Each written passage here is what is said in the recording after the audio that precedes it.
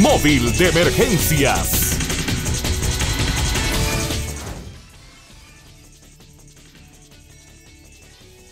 Gracias, gracias. Buenos días. A esta hora de la mañana le presentamos de manera rápida el resumen policial de los hechos más importantes ocurridos anoche en Tegucigalpa, Comayagüela y alrededores.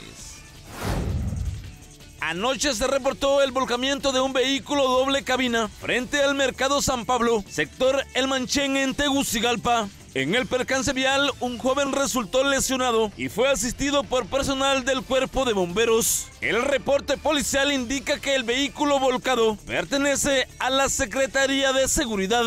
Se informó que en el automotor mayormente dañado viajaban tres agentes de seguridad.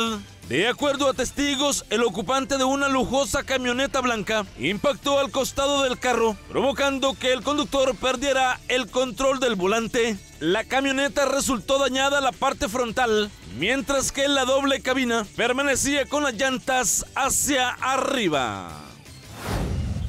Anoche la Policía Nacional reportó el hallazgo de una osamenta humana en la colonia La Reforma de Tegucigalpa. Los huesos que pertenecen a una persona aún no se sabe si se trata de un hombre o de una mujer. El hallazgo se registró en un solar baldío donde vecinos dieron aviso a las autoridades. Luego de reportado el caso a través del 911, agentes policiales llegaron al lugar para confirmar la alerta. Por su parte, el personal forense junto a los equipos de la DPI realizaron el trabajo del levantamiento legal.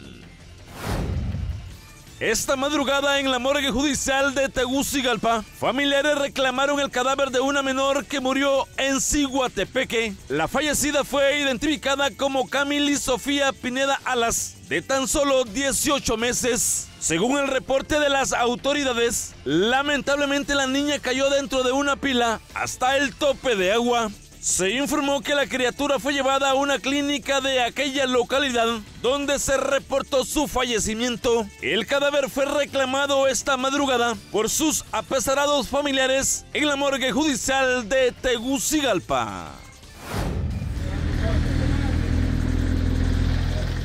Durante la noche, agentes de vialidad y transporte realizaron fuertes operativos en Tegucigalpa con el propósito de sancionar a conductores irresponsables. Las acciones fueron estratégicas en puntos específicos. Mediante un trabajo coordinado en Tegucigalpa y con Mayagüela, los agentes realizaban las pruebas de alcoholemia.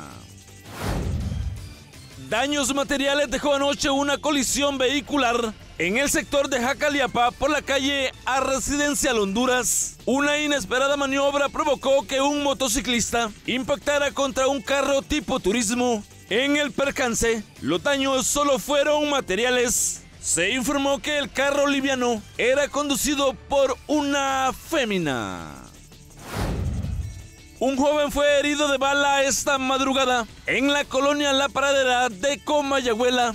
El afectado fue identificado como Frederick Herrera de 28 años, originario de Texiguat, El Paraíso. El reporte establece que se recibió la alerta a través del 911, informando que un joven estaba herido de bala.